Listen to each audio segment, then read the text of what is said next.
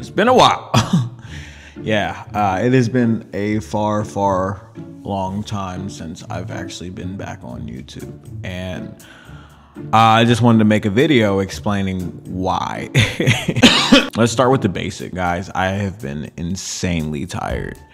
Uh, I don't know if I can see it. Um, I have been working a lot more at this new job I just got, and I'm trying to get ready for school.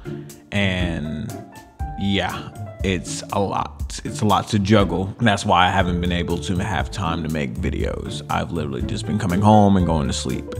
So, and I feel bad.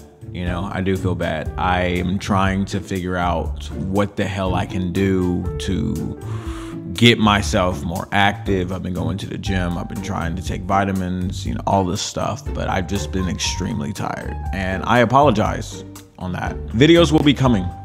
They will be coming very, very soon. James is actually editing a couple of videos right now, and we're gonna try to pump out a lot, and I'm just gonna slowly release them.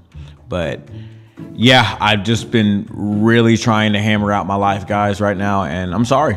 You know, I'm sorry, but I have to make sure that my life is taken care of first before I can really advance with YouTube. People who are still part of the channel, thank you. Uh, people who are still rooting for me, are commenting, watching videos, I appreciate it. Thank you. Um, that means a lot. It really does.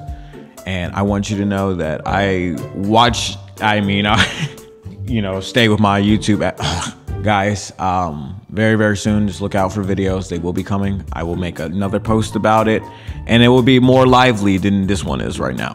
Guys thank you very much. Um, if you like videos like this like love share the channel. Uh, i'm here for you. I'm always going to be here for you. And as always i love to see your beautiful superstar face in the next video. I'll see you guys very very soon